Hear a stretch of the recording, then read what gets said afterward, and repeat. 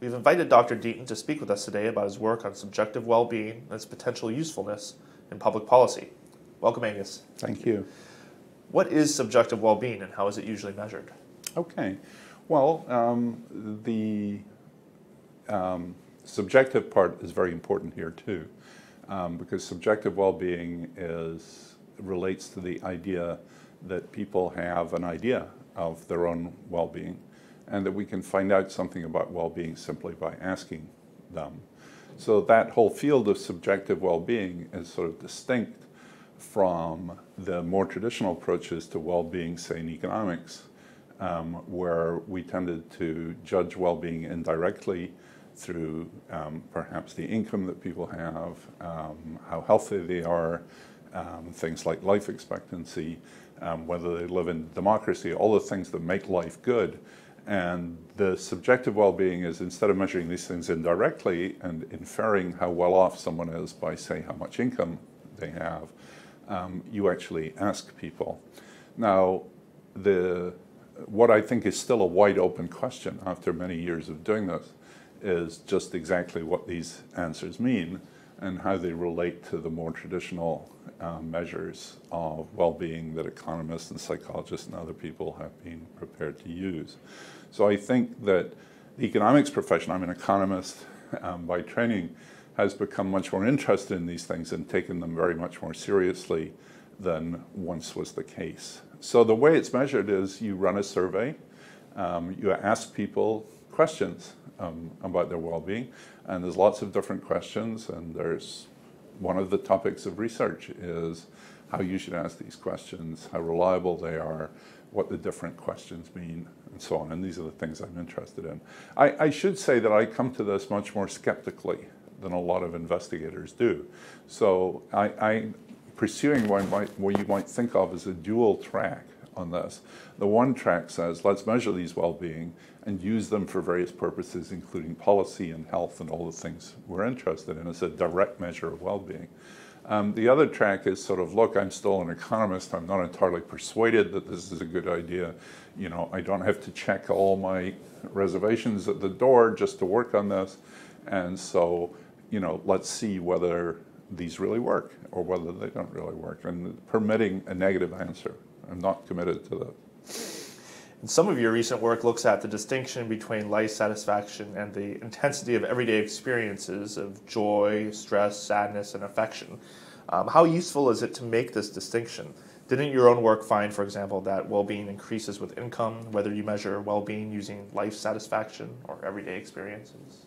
Well, that, part, that last statement is only partially correct, but uh, let me um, back up to the first question, which is why it's important to make this distinction. I think it's actually vital to make this distinction. And I think the unwillingness uh, to make this distinction until now, or at least the, the, lack of recognition of how important this distinction has tended to muddy um, the field a little bit. Um, I'm very much um, a disciple of Danny Kahneman on this, um, and he likes to make the distinction between what he calls living life and thinking about life.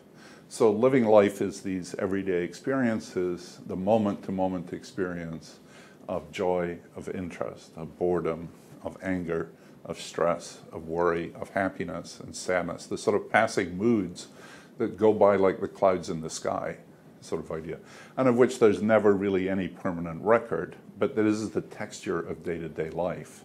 The other one is if someone asks you to step back and say, How is your life going? That's a cognitive um, question in which you have to think about it and formulate an answer about it. So the, the um, momentary ones are what you might call this feeling of happiness. Um, the cognitive ones are things like life satisfaction, uh, but the word satisfaction has a hedonic component in it too, so that's a little bit of the old one. Or a question we've been using in a lot of our work, um, which is the, the so-called Cantril ladder, or it was invented by Cantril, and it's a ladder question, which says, um, I'd like you to think of a ladder in which the bottom ladder marked zero is the worst possible life you can imagine for yourself, and the top ladder, top rung on the ladder marked 10 is the best possible life you can imagine for yourself. Where would you put yourself on that ladder now? Now, what you said about income is these things respond differently to various characteristics that people have. So the thing about income is all of the experienced emotions increase with income, but only up to a point. So what we find in the contemporary U.S. is that up to about $75,000 a year, those things keep on going up. But after $75,000 a year, money just does not seem to matter at all for your affect, for the quality of your emotions, for the degree to which you experience happiness and sadness, and so on. Below that, I mean, um, one of the papers, one of the websites that reported on, on Danny and my paper in the PNAS had the best headline that described this research that I could imagine. It was from Gawker.com, and the headline was "Science proves poverty sucks." And so, you know, this is your life is rotten if you don't have enough money to do these basic things. Now, the cognitive question about how your life is going, that seems to increase with income as far as we have data. so, even among the people who've got $150,000 a year, they're still better off than people who have $100,000 a year all the way down. so, the cognitive um, assessment of how your life is going responds keeps on responding to money as far as we can see, whereas the emotions don't. Um, other more trivial things is, for instance, people are happier at weekends. They're less sad at weekends. But there's no change in life evaluation at weekends. Um, and that makes sense when you think about it. Your life goes about as well on weekends. You know, it's a longer term judgment. Very interesting. Turning to the question of aging, uh, what does your recent work suggest about how subjective well being changes as one ages? Well, the age thing is, is really a very interesting component of this, and I think that's why the National Institute on Aging is, is um, interested in this work too. So, older people have a good deal less money than younger people, by and large. Many of them are living on pensions, a lot of people are living on Social Security. But almost all of these measures of well being are higher for older people than they are for younger people. Um, the other thing is about older people is that, you know, your health deteriorates as you get older. Um, and you know, I'm at about the point where you begin to really seriously um, realize those things. And the older people, even though they have less money and they have worse health, which you might think were you know the major two the major components of well-being, um, are actually answer these questions more positively um, than younger people. Um, one of the things I've been looking at just over the last few days is what happened during the financial crisis um, to various age groups.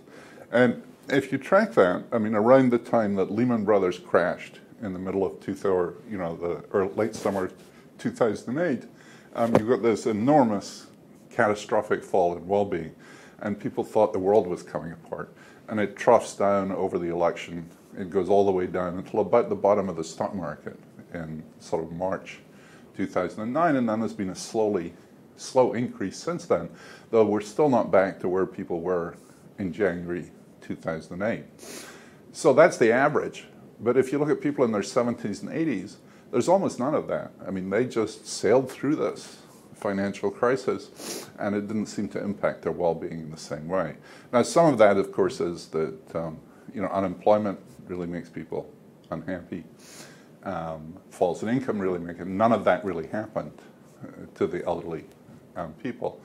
Um, and so it makes sense that not very much would happen to them. But I mean, these are, as far as well being is concerned, these, um, the elderly or self reported well being, the elderly seem to behave quite differently um, from the young, and they respond differently to the way that things are going. So it gives us an, a new lens through which to look at the difference between well being um, as people age. Now, once again, it's not necessarily the be all and end all, you know. And if people are sick and if they have no money and they're in poverty, they still have all of these things, even if they think their life is going very well. So you can't necessarily take this and take it as an ultimate final measure um, of what we care about. Finally, turning to uh, policy there is some suggestion that enhancing subjective well being might be a public policy goal in the same way that improving a country's wealth or GDP is a policy goal. Um, can you explain how what might be some policy implications of this research? Right. Well, I mean, I think there's a lot of interest by politicians in this. Um, I was a member of the commission that um, President Sarkozy set up. Um, and one of the recommendations of that commission was that we should monitor um, these levels of well-being as well as GDP and so on. I suspect that a lot of the um, message on that was, you know, let's have other measures which show that Fran- France does much better than the United States does, unlike GDP, for example. But I mean, that, that's a legitimate thing. I mean, that the French, for instance, have much more vacation time than Americans do. Um, it's not clear that GDP is a great measure. So we certainly want to have a broad dashboard of measures for public policy. Um, exactly how these will play into policymaking, I think, remains to be seen.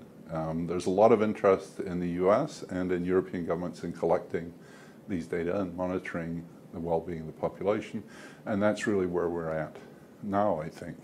I think looking at how they behave over time is going to happen before we decide to target them for policy. Um, some of us are a little bit worried about the thing I was just describing at the end. You, you would not wish a government that was presiding over a collapsing economy in which people somehow said, well, we're getting by, you know, we still managed to find a certain amount of happiness in this. We don't have the data, but I suspect people were pretty happy during World War II in Britain when they were being bombed. So and that doesn't mean having the Germans come and bomb you is a good public policy thing. So we're going to have to be very careful about how we do this, and I think that's going to evolve over time. But clearly, there's real potential here for another gauge to look at how people are doing. Well, thank you again, Angus, for talking today with us. Thank you very much.